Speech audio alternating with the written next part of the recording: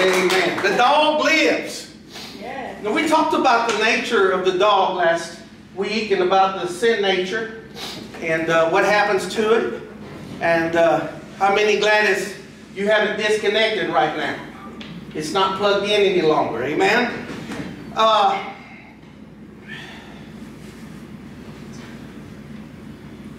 Mr. Thomas was killed in a bar brawl, and his good Christian wife and her son Billy sat on the front row as they had the funeral. And uh, they were talking about Mr. Thomas. The pastor was going on and on about how wonderful he was and how what a, what a great man he was and all the wonderful things he did. And she nudged Billy. She said, Billy, go up there and make sure that's your daddy up there in that coffin. I had a young man, and he wasn't really that young, but he was a single man in our church. And uh, the shock was at a later point, he was a millionaire, nobody knew it. Me, real millionaires have uh, interesting uh, concepts for life. They don't, this guy wouldn't tip. I used to get on to him, you need to tip. Because these people are waiting on you and this is what they do for a living. And did you know that the, they don't pay them hourly wages like everybody else? They expect them to live on tips. Well, he would drive this car. It's the worst car I've ever seen. It was so rusty you couldn't tell what color it was originally. Had had he had wires holding the door onto it. It, it he had uh, uh, pipes hanging down so that when he was going down the road, it sparking. You know, this car was ugly. Can't even tell what it was. But what was interesting about it was that he had a sign on the back window that says, "This car is not abandoned." It evidently had been uh, it had been hauled off for trash a number of times, and he had put on there, "This car is not abandoned." I want to tell you something. The blood of Jesus is upon you. Amen. Apply it every day. Because there's a sign on you that says you're not abandoned, you're not alone. Hallelujah. Christ has put his name upon you. And you have taken his name and you have taken the bloodline and you belong to him. Come on. And so there's a sign on you that makes you, I don't care. A lot of us you know, identify, yeah, I feel rusted and run over and have had it and on my last leg. But I'm going to tell you, the sign says you're not abandoned and you're not alone. Somebody get excited about that. Say amen. Amen. Baptists can get excited, can't we? Sure. Now listen, I grew up, look, let me tell you something about Baptists. I grew up in Brazil. We don't know a whole lot. We don't know better down there. So my mama, nobody could play, so my mama took the accordion and she started doing this. And then there's no beat, so she, and so the people started beating. And so we're Baptists, but we're having a good time. We praise the Lord, we sang with all our might, and we didn't know we were supposed to sit there and be quiet, just let the preacher do it all. And that's how I grew up. But it was funny because the women sit on this side and the men on this side. The women were all amen and the men are like, you know. And I think I've told you before, it's really interesting in church. I mean, the women down there, they just feed the baby, they just plop the baby on the chest and my mom would be like, turn around, boy, you know? Because I'm like, so, you know, I grew up, my, when I grew up in church, Baptist church, it wasn't probably like what you grew up. Can you say amen? Amen. But we didn't know better. We just had a good time in Jesus. Amen? Well, I'm going to move right along.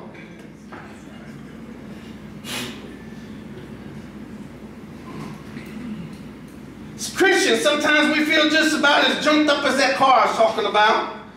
But God has not abandoned us. He wants us to be overcomers. And in John 10, 10, Jesus said, I have come that they may have life and that they may have it more abundantly. And Paul said, Who shall separate us from the love of God?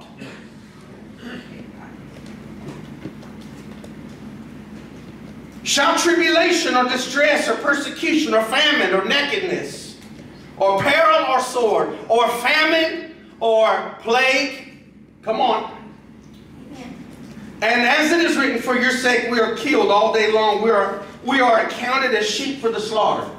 Some of you, you know, feeling kind of uh, run down and all that. Listen. Endure in Christ.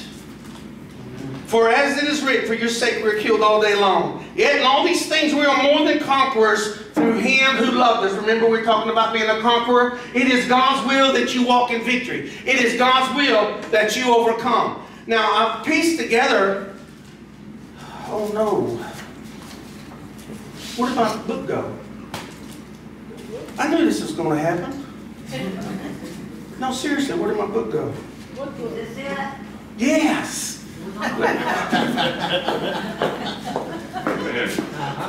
Yes. Could you steal book?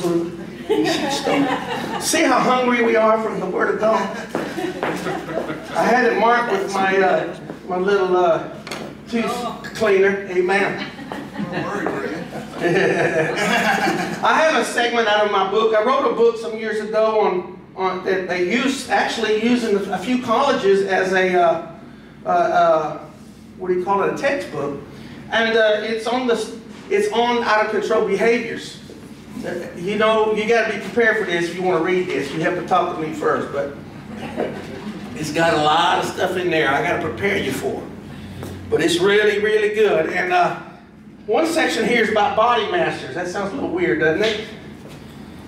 But Paul wrote about this. He said, Your body is not supposed to be master over you, but you're to be master over it. Paul wrote this in Romans 6 12. Do not let sin reign in your mortal body that you should obey its lusts. And do not present your members, that's your body parts, all your, all your parts, as instruments of unrighteousness to sin, but present yourselves to God as being alive from the dead. Amen. Alive from the dead. And your members as instruments of righteousness to God. For sin shall not have dominion over you. You need to say this so your spirit, can, your soul can hear you say this, all right? This is your spirit talking right now. Say this with me. For sin, shall not have dominion, over me. The Greek word for reign shall not reign. Basilio, to rule over a master or to overcome you. We're to overcome, not to be overcome. Paul says not to allow any sin to gain a foothold of addiction, or ruler, or be master over you, or be king over you, or over your life. He's warning us to not present our bodies parts to any defilement, whether it be drugs or immorality, any type of sexual perversion, any type of, uh, can I just tell you, I spent, look, I'm just going to be honest with you, I spent years, as a, as a pastor all these years, you know, you can't, you, you can't go to the movies without being uh, judged. When you had thousands of people in your church, they saw you everywhere you went. I had to, look, I couldn't even have a glass of wine without somebody, you know, causing somebody to stumble, so I just pretty much had, I had to pull it straight. But there's one thing I could do nobody would judge me for, eat. and I ate everything in sight. I was in a difficult situation with a difficult relationship and a difficult somebody, you know, and, and, I, and the way I, I handled it was is that I appeased my flesh. Man, I thought every meal, breakfast, lunch, and supper, I had to gorge myself. In fact, I didn't feel like I ate unless I was full. Is any, am I talking to anybody here? And that sin, let me tell you, it became life-threatening. I, I developed a, a, a, disease called diabetes. It was so life-threatening, I didn't think I was going to be able to come past you guys. I was going to take off, but I have gotten a hold of it. But it, it was out of control. Couldn't pull it down even with insulin. It was, it was really out of control. I mean, it, I couldn't get my numbers down to where I was away from stroke level. So God has been helpful to me. But I'm saying, I, what I have sown, I have reaped. What you sow, you're going to reap. Now, it doesn't mean God can't heal me. He healed me from emphysema. I would have been dead 20 something years ago. So God has been merciful to me. But in that time, I had let my flesh go. So, He's warning us not to present our bodies to any type of defilement. The body is not to master over you, but you are to master over the body. To the young man who has come into puberty, you know, it looks like God created you for, uh, you know, for a young man who's, you know, every young man struggles with lust. And, and uh, for the young man, it looks like God created you for disaster, you know. Uh, what has God done here, you know? Created all of us men for, uh, to, to, to uh, be destroyed by our own bodies. And uh, I have learned some things. That God meant for us to overcome the flesh and to become men and women of God. And this is the, the fight of the spirit, of the flesh. And so, uh, it may seem to, to the young man that God has created him in such a way that he can do nothing but fail. But it is God's design that a young man gain mastery over his body. Come on, somebody. And it is not to be ruled over by his body. And this is how the man comes becomes a, the young man becomes a man of God. This is what makes the man of God. His spirit is to rule, not his body. And so, there are so many called men of God, and I've known, and you know, I don't want you to start getting afraid to be around me, but I can tell when certain men struggle with anger or they struggle in their body, I can tell that they're struggling. They'll also struggle with perversions because their life is out of control. I can tell men who pastor great big churches, and, but they're still their life is out of control. Watch one the other day. He went to the. Uh, he was trying to be funny. He videoed himself. This pastor's kind of used to look like I used to look, just big, and and uh, so he was he was he was going through the, the buffet line, and instead instead of taking two, he just took the whole pan, put it on his plate, and went went to sit down. You know, and I think it was fried squid or something. So I would have probably done the same thing some years ago. But there are so many so-called men of God are still caught under the rulership of their bodies. Jesus is not fully Lord in their lives because their bodies control them. In 1 Corinthians 6, verse 25, and everyone who competes for the master is temperate in all things. Notice that. Temperate. Controlled. In all things. All things? Come on, Pastor. What is you do, what we looking for? Perfection? No. But the work of Christ in us is perfect. And it's, it's a work that pushes us towards holiness. Have you ever heard the word holiness before? That's not them crazy people rolling around on the floor over here in that Pentecostal church. Holiness is what God is, the character of God. He's holy. And because he's holy, he does righteousness. He does right. He's, he has rectitude, you know, that he, that's imputed in us through the birth of Jesus Christ in our spirits. So everybody who competes for the mastery is temperate in all, say all things. All things. But I my body and bring it under subjection, lest when I have preached to others, I myself should become disqualified. Athletes who break the rules, what do they do? They become what? Disqualified. disqualified. You take the drug, or you do this, or you do that, they'll disqualify you. Guess what? It happens that way in the spirit too. Hmm. Athletes, it is to, here's the, here's the point I'm trying to make. To live your life, the life of a Christian, and never bring the body into subject, subjection to the spirit will disqualify you. Amen. What does disqualify mean? Rejected of God. It's a very strong word, disqualified. Refers to, it's the word adikimos. Just saying it, sound like you're cussing, don't it? means castaway. Unapproved. Man, let me tell you something. I don't want to be a Dickie Moss.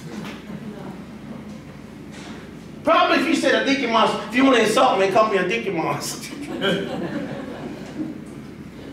Reprobate. Turned over to the devil. Rejected of God. Brother Victor, this is not sounding very encouraging right now. I'm going to encourage you in a minute.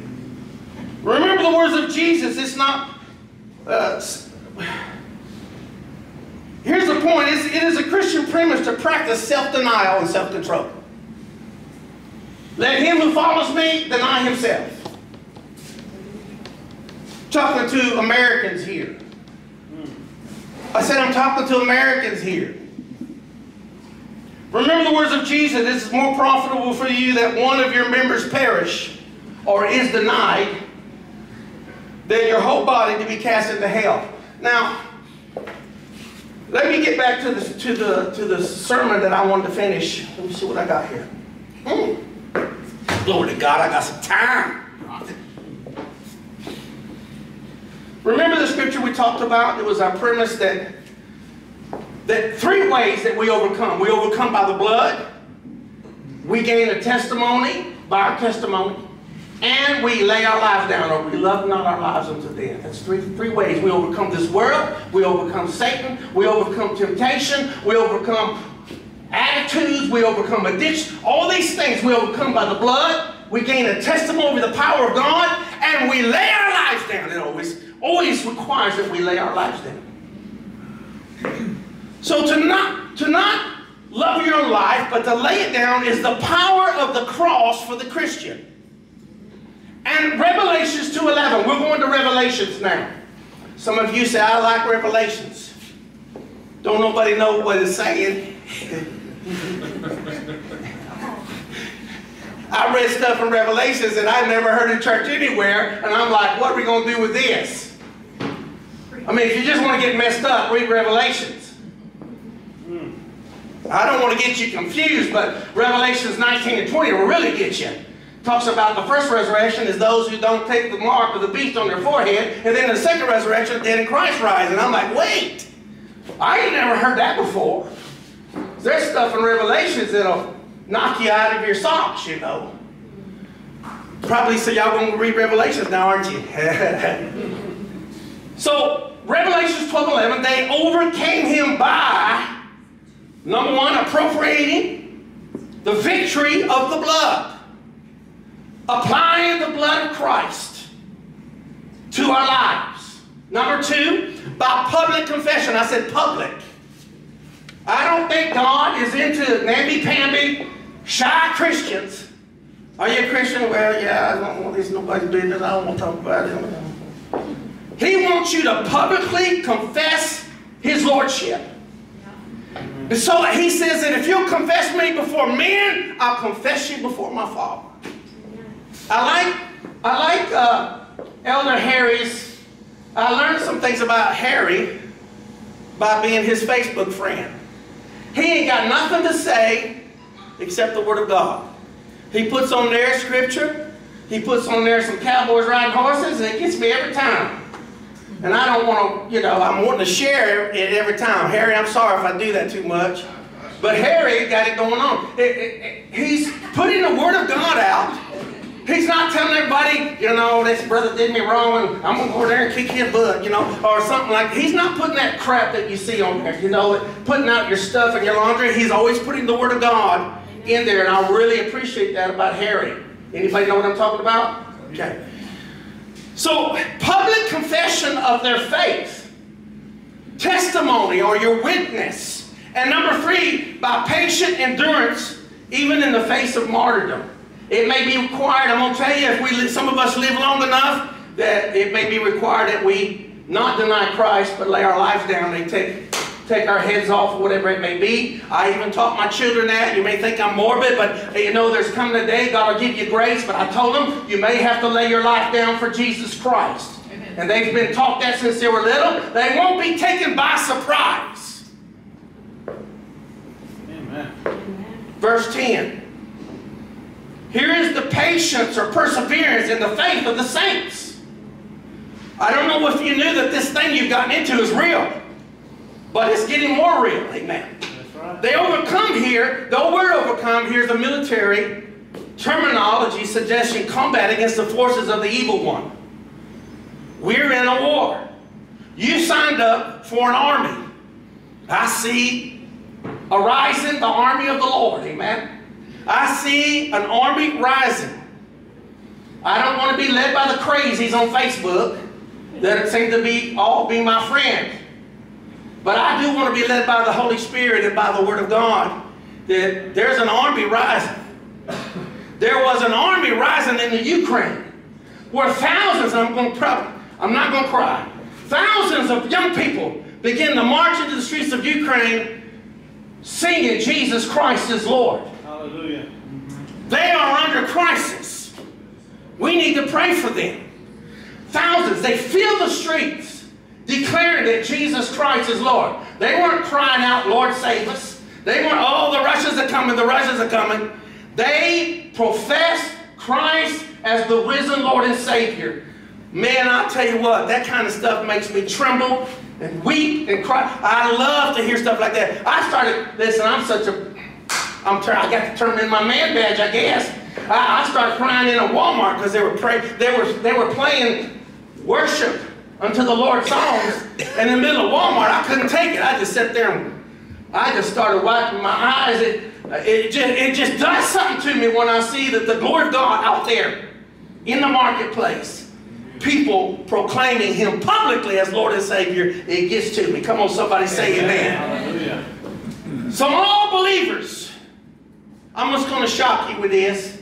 Not all believers are overcomers. Not all Christians are overcomers. As a matter of fact, I don't want to be negative, but a lot of Christians are overcome. Just see it in their lives. They're bitter, they're unforgiving, they're overcome by addictions. They've been run over. I'm glad they got a sign on there that says they're not abandoned. They're not alone. Come on, somebody say amen. Amen. Amen. But they're run over. They're hurt by the church. I remember telling the Lord, I love you, but I hate your people. people can be nasty.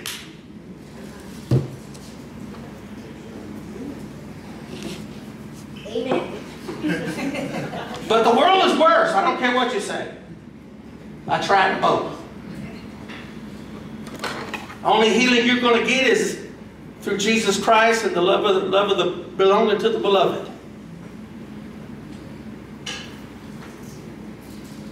Those who come to, through the blood of Jesus are those who remain faithful in the midst of persecution, and it's coming. I don't. I'm not doomsday. I'm just telling you, be ready. It's coming. In the middle of doctrinal error, that's coming. It already is here. It's it. I'm watching stuff on television that's as off as, as off can be. It pushes people towards a man-centered gospel. It's no longer Christ-centered. And he's not passing out Coca-Cola. It's, uh, we're fixing to have communion. Amen. Get your hearts ready. Proof of their faith. That we're to maintain this testimony, a willingness to lay our lives down. Lay your rights down, every, your desires down. Listen, there needs to be a Christianity that lays your desires down. Lays all your hopes and dreams down. I, God's going to help me develop my dreams, you know. This is the millennials talking. Where does it say that? It says that we're to raise up His name and His standard in the kingdom of God. We are preaching the kingdom of God has come. And when that comes, Jesus Christ is coming back. Come on. Amen. Amen. When you see the finger of God, the Bible, Jesus said this himself. When you see the finger of God casting out devils, you know that the kingdom has come. There, more, there are devils, they're not going anywhere. We think they disappeared, you know, since we've come to the age of enlightenment, but it's not true. They're, they're, they have been here, they, are, they, have, they're, they have lived longer than you have. You don't stand a chance without Jesus, but through Jesus Christ we overcome all things. Amen. Amen. Amen. Sorry for getting excited. Let me end with this. Go to Revelations if you have your Bibles. I'm going to give you, and I know you're thinking, well, you ain't got much time. I'm going to very quick. Seven things, promises that if we overcome, God's going to do this for us. Now remember, our text was Revelation 21, verse 7. He who overcomes shall inherit what? All things. Say all things. All things. And I will be his God, and he shall be my son. So we see an inheritance of all things that pertain to God. And we see sonship as sons and daughters of God. This sonship is an inheritance. You are God's son, and he is your father. I don't know about you, but I get warm all over just talking about it. Amen? Oh, I miss my daddy. My daddy was a good father. He's in heaven now with my other father, my heavenly father. And, and I am not alone. Amen. I'm not uh, uh, abandoned. Amen. So, number one, Revelations 2.11. The first thing, to him who overcomes shall not be hurt by the second death. What's that talking about? The second death is eternal separation from God. To be completely shut off from God. Don't you know that Jesus Christ, when he was on the, it wasn't the pain that he that he did look forward to. It, it, you know, not that he. It wasn't. It, what was it? It was being for the first time, the Trinity would be separated. That because of the sins of man, that the Son would be separated from the Father for the first time. And this is what caused Jesus to weep in the garden. That the Trinity would be separated for a short time. But you know, it didn't take very long because he went and descended to the earth and brought up Abraham's bosom, preached, declared himself the Son of God, got the keys of death, hell, and the grave, and took, and he said he, he led captivity captive. He led all of them, Abraham, Moses, all those guys, followed him up before where he poured the blood of, of where he poured his blood out before his father. And they all came in. It says he led captivity captive. In other words, he led them out of Abraham's bosom. Come on now. Amen. We're going to talk about is there a hell and is there a heaven. And we're going to talk about where they're at here pretty soon. The Bible's very clear where hell is. Come on now. The Bible's very clear where hell is. We know where hell is. And then it's talking about a new heaven and a new earth coming down. We're just going to look at the scripture. Not going to talk about man's opinion or what I think. We're going to just look at what the scriptures say. You need to understand there's a hell and there's a heaven. Come on. And uh, number two, seven eternal rewards of, of an overcomer. Number two, Revelations 2 7. To him who overcomes, I will give to eat from the tree of life. This symbolizes spiritual sustenance to maintain eternal life. It's found in the Word of God and by the Spirit of God. And so, in Revelation, the tree of life comes through revelation, comes through the life of His Word in you. Number three, verse 17. To him who overcomes, it always starts with to him who overcomes. Did you notice that? It's, it doesn't say to him who is saved. It doesn't say to him who, who is a Baptist. To him who is a Catholic, it says to him who overcomes. How do we overcome? By the blood of the Lamb, by our testimony, we lay down our lives unto death. So to him who overcomes, what are we overcoming? The world, Satan, addictions, all these things that come in, sin, we're overcoming sin. Hello? Amen. We're not seeking perfection. We're seeking God's presence, His power. We're seeking to overcome by the blood. We're seeking to live for Jesus. We're not seeking perfection.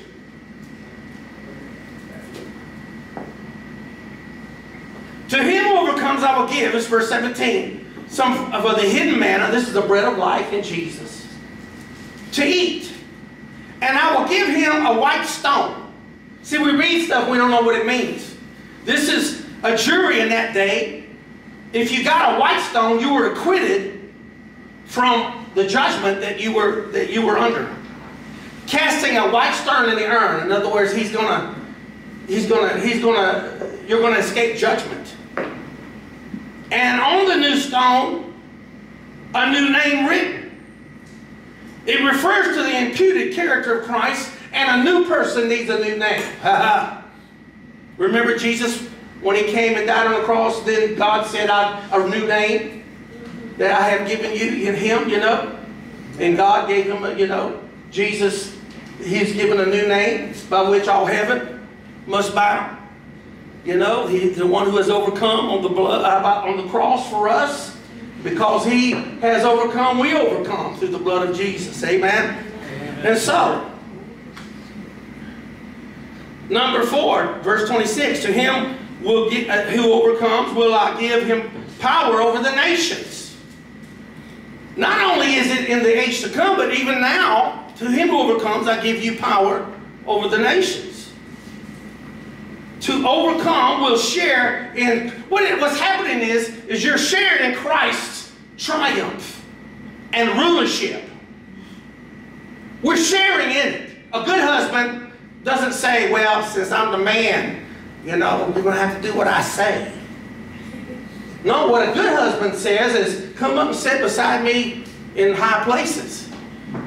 She's not under him; she's beside him. What a good husband, uh, you know, this is what Jesus says to the bride. Come, sit with me in high places. Amen. He places her, every right and inheritance he has, he gives to her. He will die for her. She actually has a better place than he does. He will lay his life down for his bride. Are you listening? Don't demand your rights, your rights are better. Come on. He and, and, and let me tell you something else. If he don't treat you right, God don't hear his prayers. Nowhere I've looked. I looked and looked. Nowhere does it say, women, if you don't treat your husbands right, I'm not going to listen to your prayers. But he says that to the man. To whom much is given, much is required. I know when my prayers aren't heard, I'd be praying and it bounces off the ceiling. Hits me back in the face. Anybody know what I'm talking about? Yeah. Harry.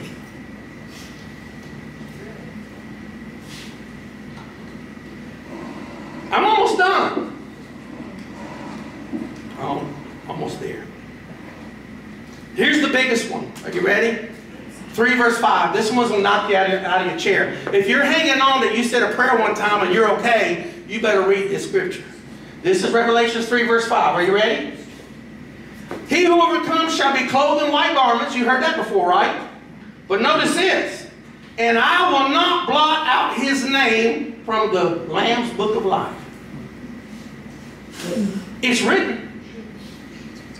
You were saved. But you need to overcome.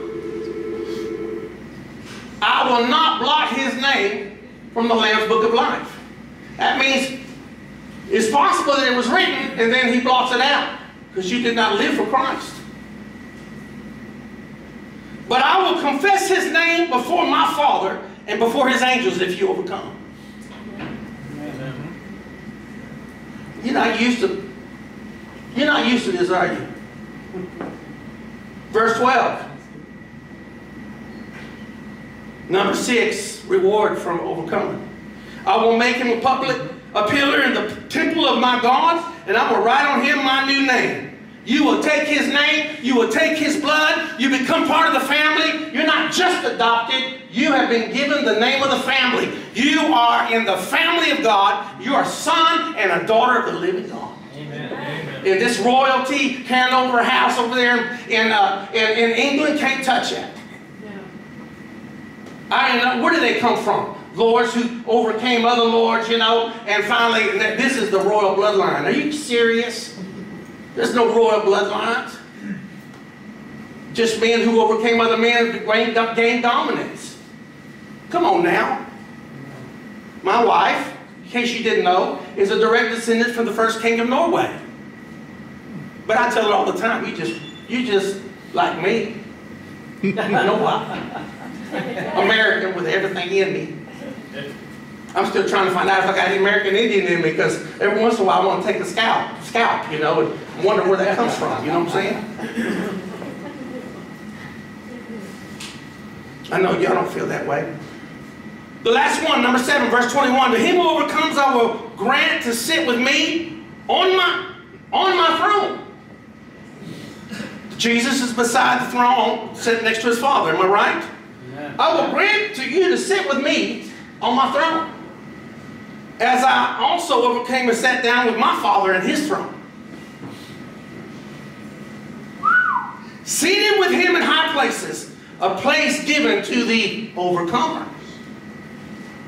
Jesus asked this question When I come, will I find such faith to overcome on this earth?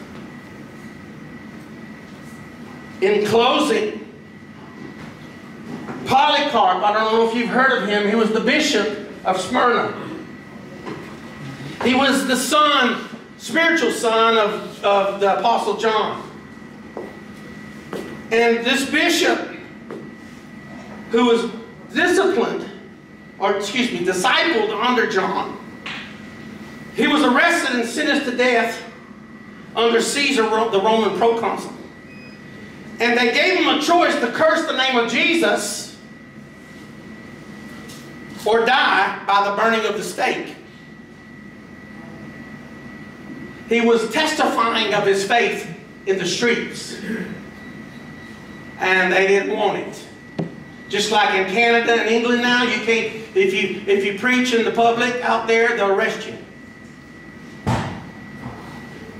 So he was doing this, and when they approached to tie him to the stake, he shouted out this, Leave me alone as I am. Me power to overcome. To overcome the world will give me power to endure this fire. Just leave me untied. I will endure this. I bless the Lord for thou hast granted, he, he raises his, you know, the heavens. He says, Lord, I bless you for you granted me this day to share the fellowship of the suffering and the drink from the cup of the martyrs, and to receive the martyr's crown.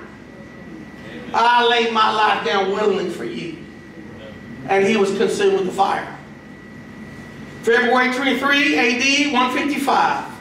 Polycarp paid the price and went to heaven. The payoff was worth the price. The payoff was worth the price. Will you bow your heads with me?